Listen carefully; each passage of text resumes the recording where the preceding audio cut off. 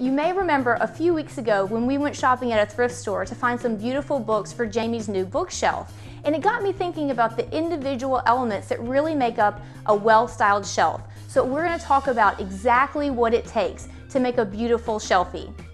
I'm Catherine Arensberg and this is Simple, Honest Design. People are really into styling bookshelves these days and search desperately for other people's photos of their arranged shelves, called hashtag shelfies in the internet world. Hashtag shelfie equals photo of a styled bookshelf.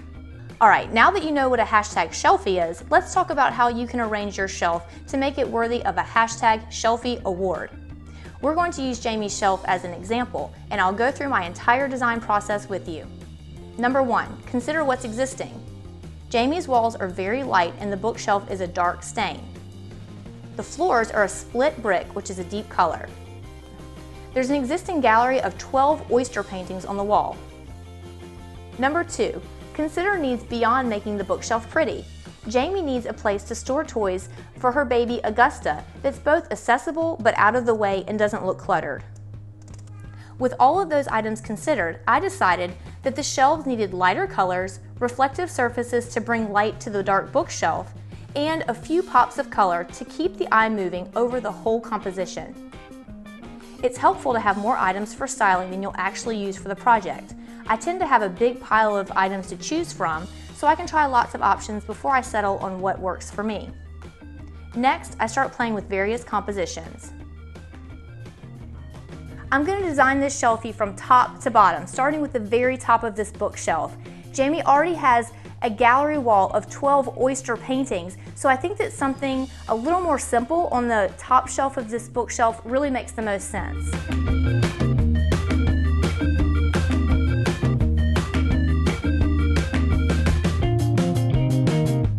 On the second shelf, the height is on the right, next shelf in the middle, and so forth. You'll notice on each shelf there's a bright green plant and a pop of turquoise to pull the whole composition together. Note that each of these colors are placed on different areas of each shelf, right, left, center, stacked up and sitting flat on the shelf. This is the most important step in giving the hashtag shelfie a professionally styled look. Be sure to play with the composition and take a step back to see what you think every once in a while.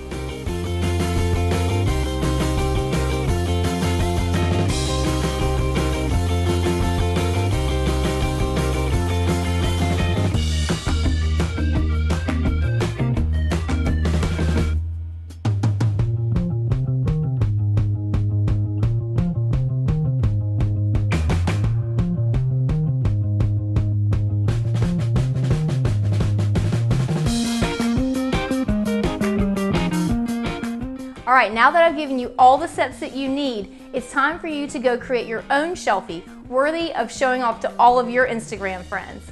Until next time, I'm Catherine Arensberg, and this is Simple, Honest Design. Don't go anywhere. Stick around, watch more videos, and share with your friends and family. Thanks so much for watching.